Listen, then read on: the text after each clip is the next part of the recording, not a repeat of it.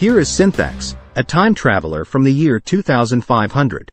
I traveled to 2023 and there I immersed myself in the world's history and stumbled upon the concept of the Illuminati.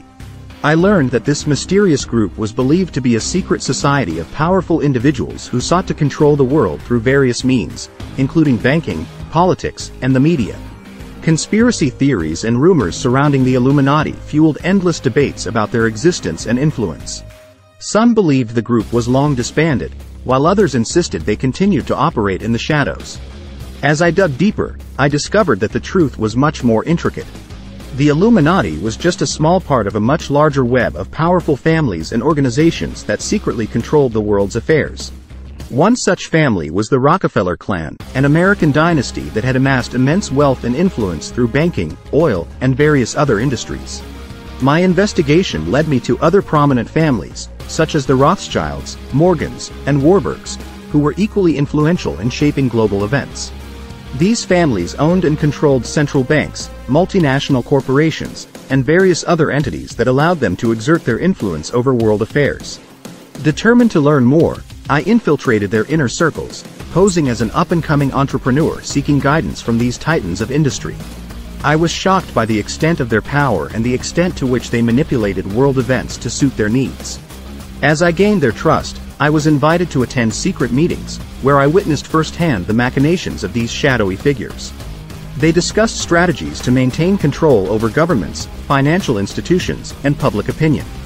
They orchestrated wars, economic crises, and social unrest to consolidate their power and ensure the world remained under their thumb. Despite their differences, these families worked together, bound by a common desire for control and a shared understanding of their unique position in the world. During my time with them, I collected valuable information about their operations, including documents, recordings, and testimonies from those who had been part of their schemes. The more I learned, the more I realized that exposing their secrets was the key to breaking their grip on the world. I soon came to understand that exposing these families and their vast network of control in the present was an insurmountable task. They were too powerful, too well connected, and too adept at covering their tracks. I knew that if I were to make any headway against them, it would have to be done covertly and with great care. I carried on with my mission, well aware of the immense challenges that lay ahead. The powerful families of the world order, the Rockefellers, Rothschilds, Morgans, Warburgs, Vanderbilts, DuPonts, and the Oppenheimers, continued to cast their long shadows over the planet. The more I investigated, the more I discovered the extent of their influence on a global scale. These families had their hands in every major industry, from banking and finance to oil and pharmaceuticals. They wielded their wealth like a weapon, shaping policies, manipulating markets, and influencing governments in their favor. It became clear to me that they were not merely content with accumulating wealth. They sought to control every aspect of human life, from the food we ate to the information we consumed. With every new revelation, my determination grew stronger, I knew that I couldn't bring these families to justice in the present day, but I could help lay the foundation for a future revolution. My team and I redoubled our efforts, working around the clock to gather evidence, expose corruption, and plant the seeds of dissent. We shared our findings with underground networks of activists, journalists, and truth seekers, who in turn spread the word through alternative media channels and encrypted communication platforms. Slowly but surely, we were chipping away at the monolithic power structure that had held the world captive for so long. As our network grew, so too did the risks we faced. Many of our comrades were captured, tortured, or killed by agents of the world order, who sought to silence our movement and maintain their stranglehold on the world. We mourned their loss, but their sacrifice only fueled our resolve to continue the fight. Time and again, we narrowly evaded the clutches of the enemy, our every move anticipated and countered. It seemed that no matter how carefully we planned, they were always one step ahead of us. Yet, despite the setbacks and the crushing weight of their power, we pressed on, refusing to back down in the face of seemingly insurmountable odds. I began to understand that this battle would not be won through force or firepower, but through the hearts and minds of the people. Our ultimate goal was to awaken the masses to the truth and inspire them to rise up against their oppressors.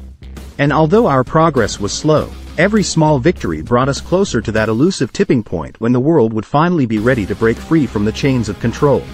As I continued my work, I realized that the world order was not a static entity.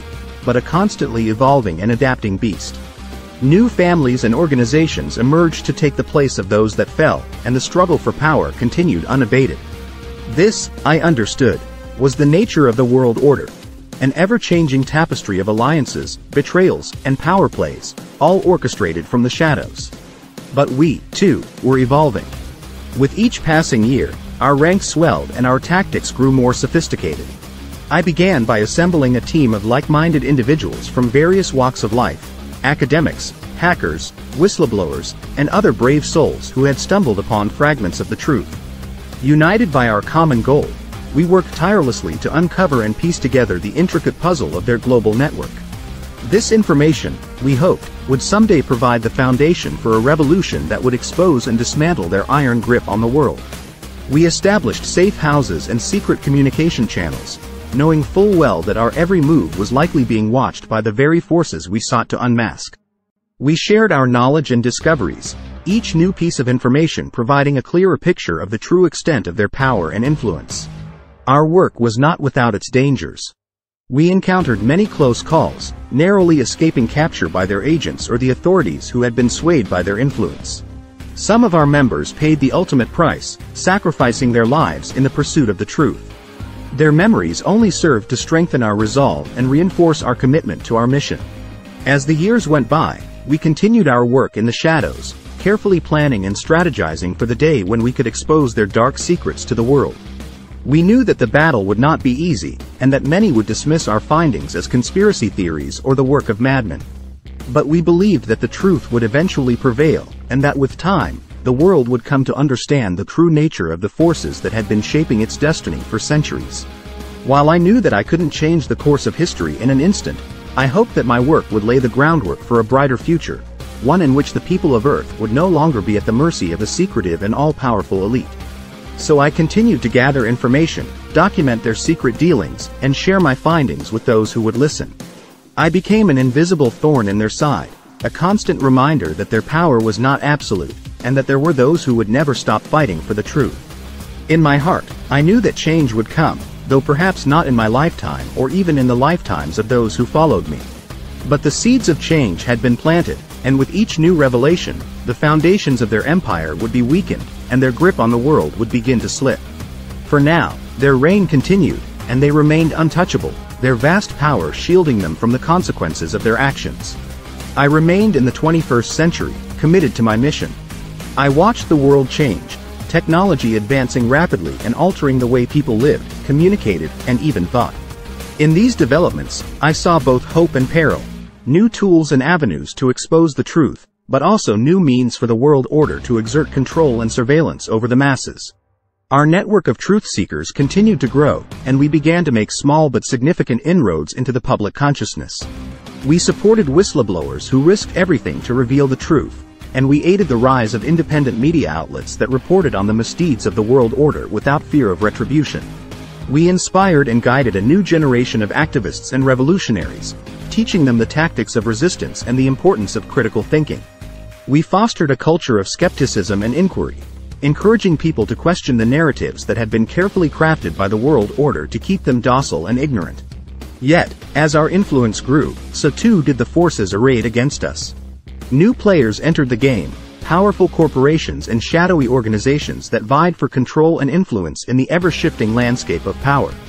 We struggled to keep up with the dizzying array of alliances, betrayals, and covert operations that defined the secret war for the world's destiny. But we never wavered in our commitment to the cause.